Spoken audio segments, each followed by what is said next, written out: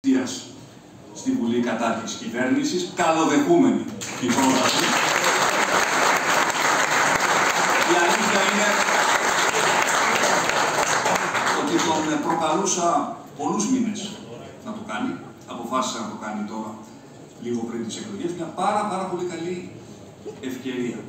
Όχι μόνο να επαναπιβεβαιώσουμε τη συνοχή της κοινωνικής μας ομάδας, αυτό είναι δεδομένο, αλλά κυρίως να συγκρίνουμε πεπραγμένα τετραγιών.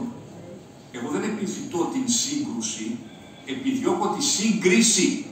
Ελάτε να συγκρίνουμε λοιπόν τι έκανε ο Σύνδεσμος τα τέσσερα χρόνια και τι κάναμε εμείς.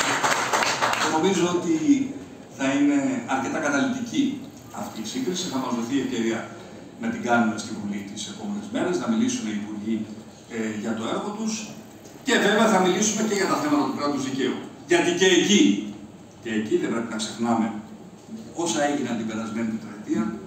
Είμαστε λοιπόν απολύτως έτοιμοι για αυτή τη μεγάλη κοινοβουλευτική ε, μάχη και εύχομαι και ελπίζω οι πολίτες να προσπεράσουν από τον έφος της ε, τοξικότητας του έτσι, πολύ πολλωμένου πολιτικού λόγου και τελικά να αντιληφθούν ποιοι είναι αυτοί που μπορούν πραγματικά να τους μιλήσουν για το μέλλον τους διότι ο ΣΥΡΙΖΑ επιδιώκει αυτή τη σύγκρουση γιατί δεν έχει προτάσεις για το μέλλον της χώρας και γιατί ταυτόχρονα δεν μπορεί να μιλήσει για το παρελθόν της χώρας, διότι δεν θέλει κανείς από το ΣΥΡΙΖΑ να θυμηθεί τα τέσσερα χρόνια της δικιάς του διακυβέρνησης.